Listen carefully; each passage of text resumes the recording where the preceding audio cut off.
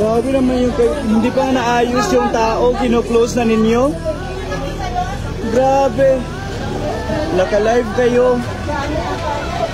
Utang ina nyo. Kanina, Facebook. Dinala nyo dito. Drive- ibang driver po yun. Naku, Ibang, ibang driver po yan. Ano itong naglalaro kayo? Gusto niyo po sumama kayo? Sumama po kayo.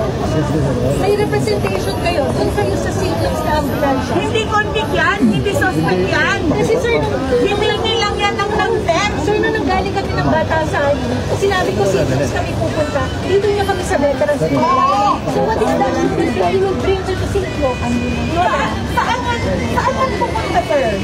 Nakita mo yung kondisyon niya? Paano tatakbo yan? Paano tatakbo yan? So sir, kung gusto niyo po, kung gusto niyo po, Sir, sumunod kayo ng lawful orders. Huwag yung alam nyo na injustice na siya sa mga tao. Huwag kayong bakla. for humanitarian reasons, sir, alam na Order lang yan, trabaho lang yan sa'yo. Sir, hindi to bargain. Hindi to bargain. Hindi to bargain. Ilabas niya yung... Sir, sir, tingnan mo. Kasi dito, doktor na nagsasabi sa'yo, doktor, sir. ba kayo?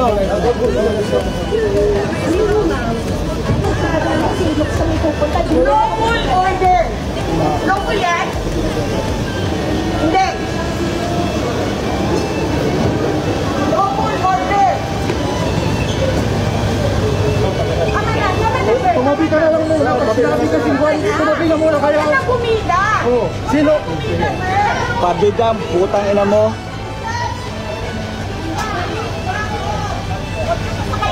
Sa LSP, yung sa HOA. Sumunod kayo.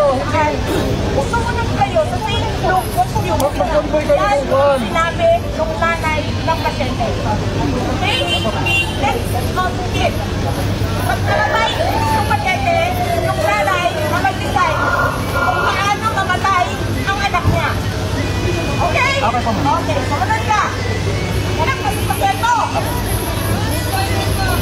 Laban BP.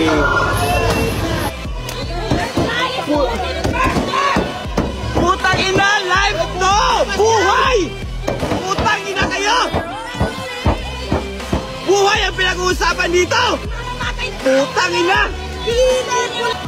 Yun, successful. Ito yung... Putang, look at them guys! Hindi naman killer guys!